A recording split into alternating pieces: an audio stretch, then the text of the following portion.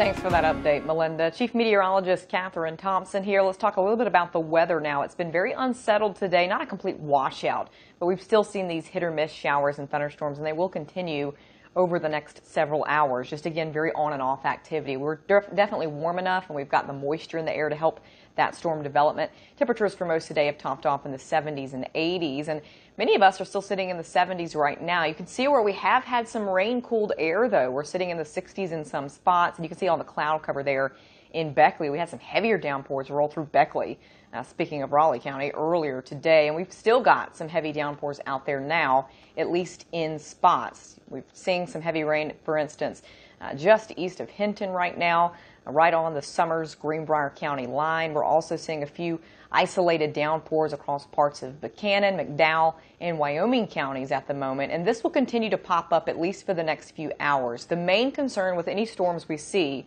uh, through sundown at least will be flash flooding or just very heavy rainfall that could cause rapid rises in creeks and streams. We don't have a lot of upper level wind support for these storms, which means they may slow down and kind of stall and dump a lot in certain places at certain times. So a flash flood watch is in effect right now for Greenbrier, Summers, Monroe, Giles, Mercer, Bland, Wythe and Tazewell counties. We've already seen some heavier downpours in some of these places today, and that's why we're concerned that we could have a few flooding issues arise before the night is over. The good news is we haven't seen anything major with flooding so far, and the severe risk should stay off to our northeast. It's actually been pushed further uh, to our northeast than it was earlier in the day. So that severe risk is really pretty much zero now. But we're still going to get a few more showers and storms with at least the heavy rain uh, over the next few hours. But here we are, 8, 9 o'clock tonight and things are fizzling out. So once we lose any sunlight, we start to lose the heat we have things will start to fizzle out. And most of tonight is looking quiet, but we'll have a lot of clouds around. We're going to have a lot of fog